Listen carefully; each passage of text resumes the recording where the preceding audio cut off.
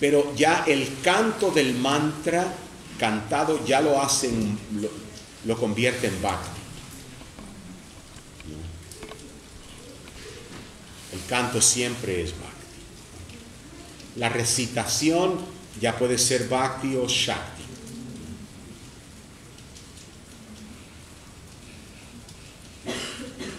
¿Bien? Ok.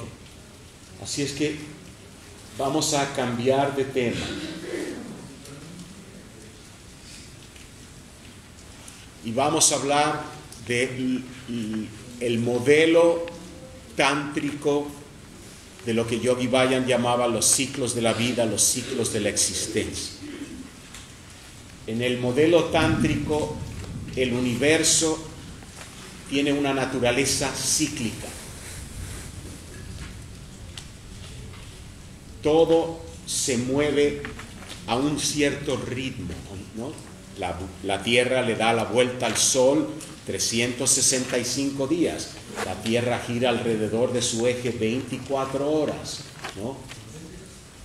Tenemos las estaciones del año. La existencia es cíclica. Y en el ser humano también estamos sujetos a distintos ciclos que representan distintos, y en este caso, tres aspectos del ser, bien concretos.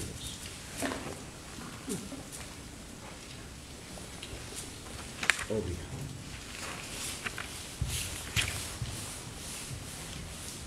Esto de enseñar tiene sus ventajas. eh,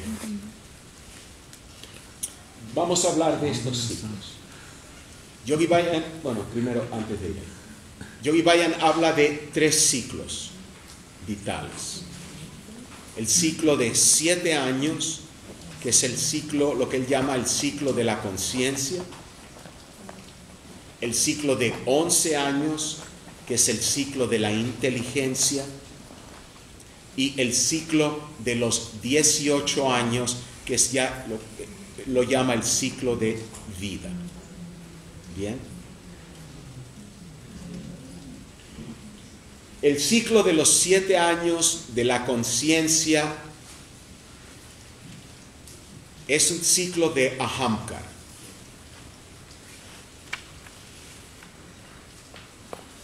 Según este modelo, cada siete años el sentido del yo se redefine.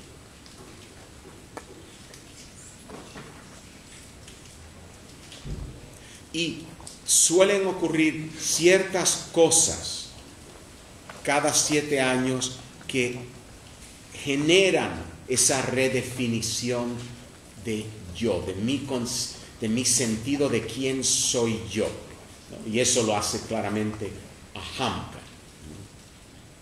Eso es más evidente en los primeros periodos de vida que más adelante.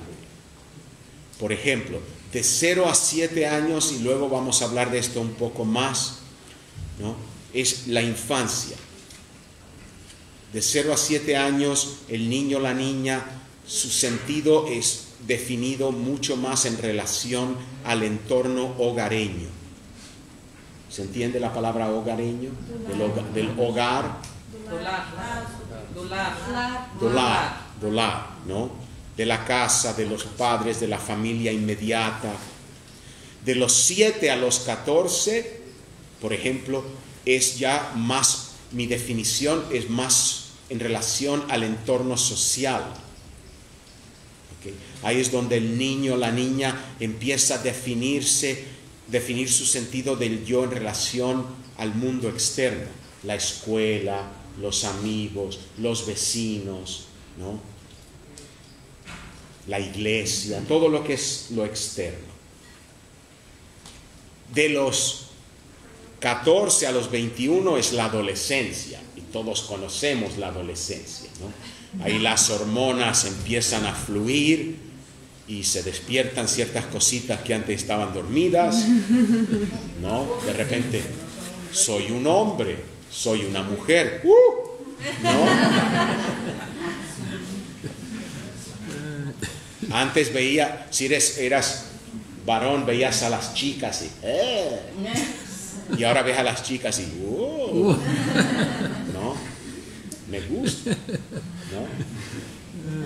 La- las, las astas empiezan a crecer, ¿no? El sentido de autonomía, ¿no? Yo soy yo, no me digas lo que tengo que hacer.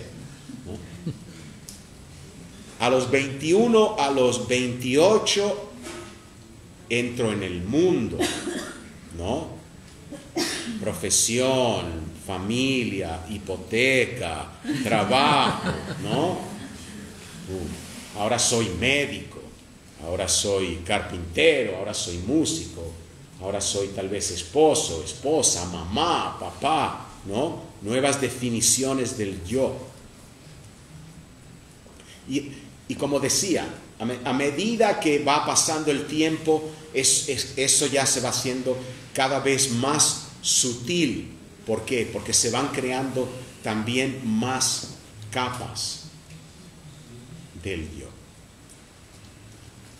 Y luego hay momentos que luego hablaremos de los otros ciclos a donde de repente ocurre algo que quiebra esas capas del yo. Tienes la oportunidad otra vez de reconectarte.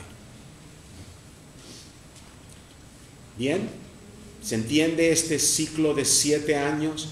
De manera que es, es interesante observarse a uno mismo y decir si estoy comenzando un ciclo de siete años, estoy en medio del ciclo de siete años o estoy al final. Porque si estoy al, com- al comienzo es como, ahí empieza la definición, ¿no? En el medio está más el yo soy esto. Y al final ya empieza a ver un poco la desconstrucción del antiguo para prepararse para la reconstrucción del nuevo. ¿no? ¿Me, me entienden? De manera que a veces es bueno, por ejemplo, ¿por qué me está pasando esto ahora? ¿Por qué quiero dejar mi trabajo y buscar uno nuevo? Y tal vez es porque estás justo en la cúspide entre el antiguo ciclo de siete y el nuevo ciclo de siete.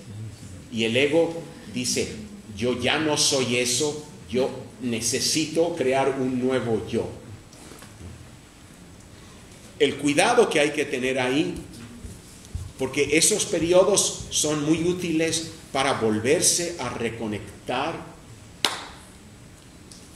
con el auténtico yo, como hablábamos ayer, ¿no? En esos momentos a donde estás soltando antes de agarrar algo nuevo, ahí es un buen momento para introspección. Claro? Cuando está terminando o empezando el otro, porque termina uno y no es que nunca va a ser como chuk chuk, no es hay una, una transición, ese periodo transitorio. Por ejemplo, muchas veces se despierta esa inquietud de hacer algo nuevo, de hacer algo diferente, ¿no? Porque si tú te observas, el yo, una de las formas que se define es en relación a lo que hace. Yo soy médico, yo soy padre, yo soy instructor de yoga, yo soy discípulo, ¿no? Pero todo eso es en relación a lo que hago. ¿Me comprenden?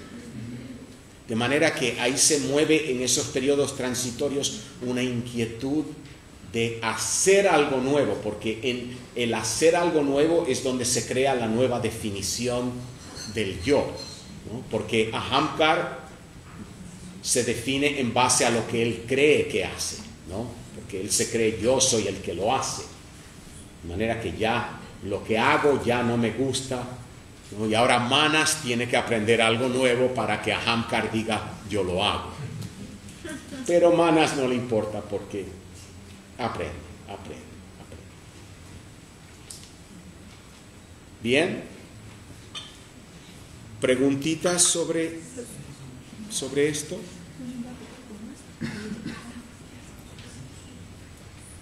Los, los ciclos eh, se findan.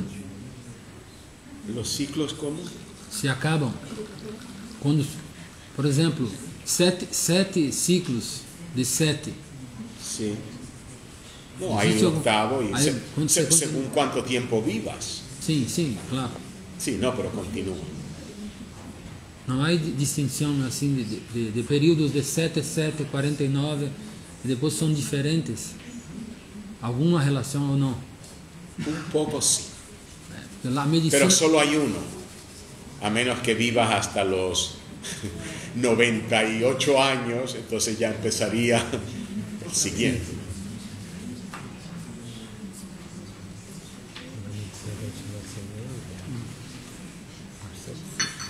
Y no es casual que eso se dé en el periodo de la crisis de los 40. Ah, sim. ¿Bien? Sí, que- no, no final dos ciclos é, é, é um período em que existe uma possibilidade maior de você um lado espiritual. Después, é, próximo, próximo a, a, a, aos 40, mais ou menos, é, é o estudo da literatura que fala que a crise dos 40 ela, ela é o, momento em que o ser humano ele vai buscar uma outra referência que não só aquela da vida material que teve, de uma maneira geral. É, isso é, é assim que você percebe? Sí, sí, mira, ahora vamos a hablar de los otros dos ciclos. No, porque lo explico. Siempre estamos en los tres. ¿de acuerdo? Pero cada ciclo genera ciertas necesidades, cierto tipo de inquietudes. Bien. De manera que dentro de la crisis de los 40, que es un poco amplia y flexible, ¿no? ahí estás terminando algún ciclo de 7, comenzando uno nuevo, terminando de 11, bien, piensa que 44 sería el final del cuarto ciclo de 11 años, comenzando el quinto de 11 años, justo a los 44. Bien. Y también hay momentos a donde los ciclos convergen. Y esos son momentos muy intensos en la vida. Por ejemplo, tienes el- un periodo de tres años entre 18 o 4, 18, 21, 22. ¿Pueden ver ahí? Ahí termina el primer ciclo de vida, termina el tercer ciclo de conciencia, termina el segundo de inteligencia. Luego tienes 44, eh, 44, 42. Ahí tienes dos de ellos en convergencia. Luego tienes 54, 55, 56. Ahí es como, ¡wow! ¿No? Ahí ya es el, el.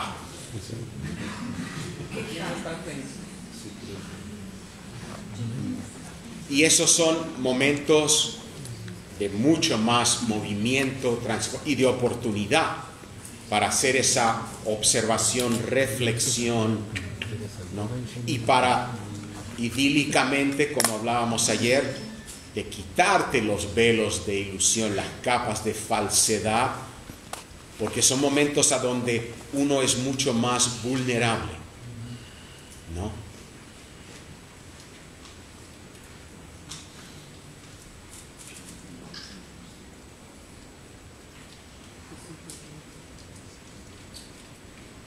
Y esos momentos de vulnerabilidad son regalos.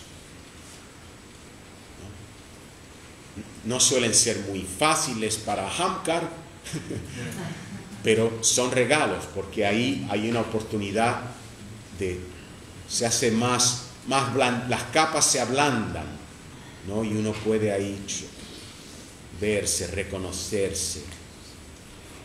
Bien. Volva- Pregunta sobre siete años. Anos,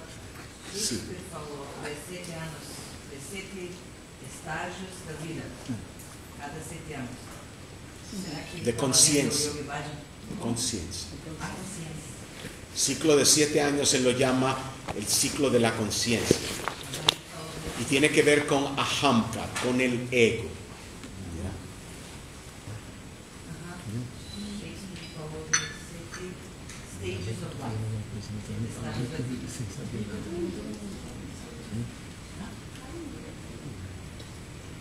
Hay tres ciclos.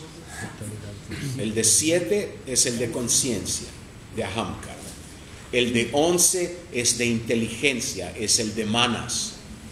Y el de 18 años, ese ya eh, se le llama el ciclo de la vida y lo voy a explicar más ahora en unos momentos.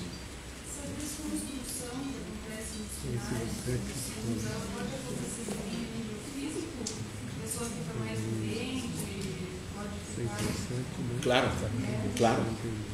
Puede, puede ocurrir. Sin duda. Piensa que entre mente y cuerpo no hay ninguna diferencia. Los dos son igual de falsos. Bien, sí, sí, sí. Eu queria entender um pouco melhor, o ciclo da consciência né, tem a ver com arranca. É a transição do pensamento de arranca. Sí, porque mi conciencia individual yo la experimento como Hamka. Mas o que muda é os pensamentos de arranca. Os pensamentos mudam, né? ¿Pensamientos qué? Cambio, lo- no, sin duda, porque en el momento en que yo re- redefino quien yo soy, estoy soltando conceptos antiguos e introduciendo conceptos nuevos. De manera que la mente ahora se abre a recibir otro tipo de pensamiento. Sin duda.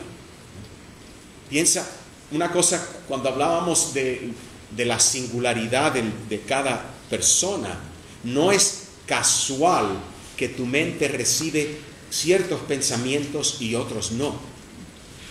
¿No? Hablábamos ayer de que los pensamientos vienen de chitta. ¿no?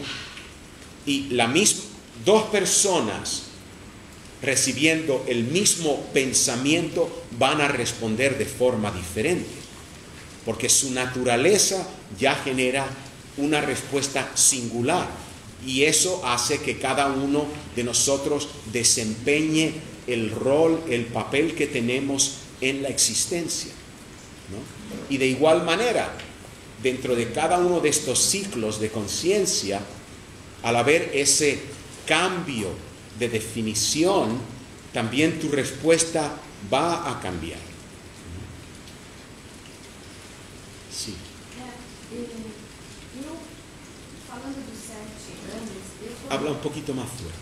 Falando dos sete anos, eu comecei a fazer yoga aos 28, 28 para 29. E percebo que na história da minha vida, essa foi uma das mudanças mais profundas. E foi um momento de maior crise. Passei por outras crises, mas menores. Fazendo um paralelo com os últimos acontecimentos, como a, a morte daquela cantora Amy Winehouse, e eles fizeram um- uma comparação que vários artistas, né, cantores morreram nesse período. Esse período do- desse terceiro setembro é mais forte, assim, é mais, é, é mais mudança, porque para mim foi muito. assim. Lo vamos a entender mejor cuando hablemos del ciclo de los 18 años.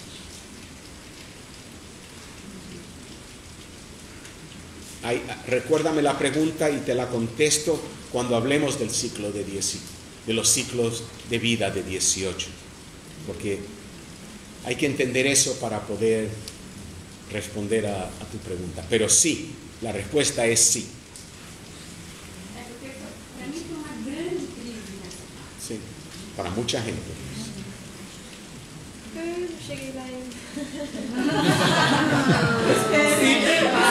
não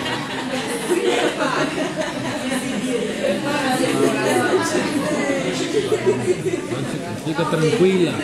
Una cosa, una cosa, una cosa muy curiosa cuando uno habla de los ciclos, sobre todo cuando hablemos ahora de los ciclos de la vida de 18 años. Tú le hablas a una persona de los ciclos de la vida y joven, una persona joven y le hace así. Porque solo lo entiendes cuando lo has vivido. De manera. Quando se vive, quando se vive. ¿ya? Por eso dicen, más sabe el diablo por viejo que por diablo. ¿No? Hay algo que te da la experiencia que no lo vas a, a tener, no lo vas a obtener de ninguna otra forma. ¿no? Pode repetir, Gurudas, mais sabe o diabo? É Por, isso? por viejo que por diablo. Ah, sim. O diabo sabe mais por velho do que por ser diabo. Ser velho. Es un dicho español, no es tampoco tan sabio el dicho, no sea el caso.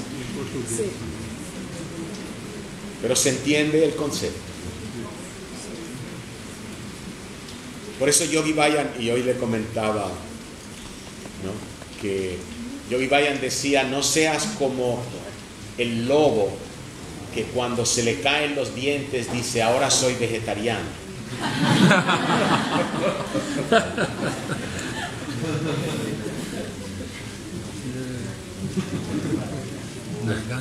Los cambios hay que hacerlos en el momento. Yogi Bayan me dijo una cosa a mí personalmente una vez, eh, en un momento muy crítico de mi vida que fue muy impactante. Él me dijo, a veces tenemos la motivación, pero no es el momento, ¿no? A veces tienes las ganas, la motivación, quieres lograr algo, hacerlo, pero las circunstancias, nada, no, no te acompañan. Otras veces es el momento, pero tú no tienes la motivación, ¿no? Muchas veces la oportunidad aparece para hacer algo y tú dices, "Mm, ¿no? Pero hay otros, hay momentos a donde el momento y la motivación ¡pam! coinciden. Y esos son los grandes regalos. Y ahí hay que decirle al miedo, excuse me. ¿Me entienden? Excuse me. Perdón. Disculpa. Piensen que el miedo hay una sola forma de trascender al miedo. Una sola. Y es haciendo aquello que el miedo te dice no hagas. Es la única forma. Assim.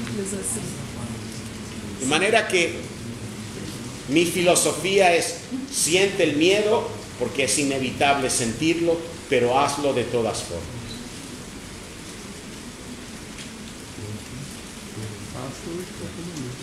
A menos que sea el camión de 150 kilómetros, esos otros miedos son miedos irracionales, son miedos emocionales, son miedos imaginarios.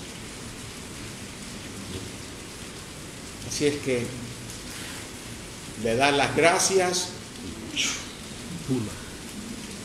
parece.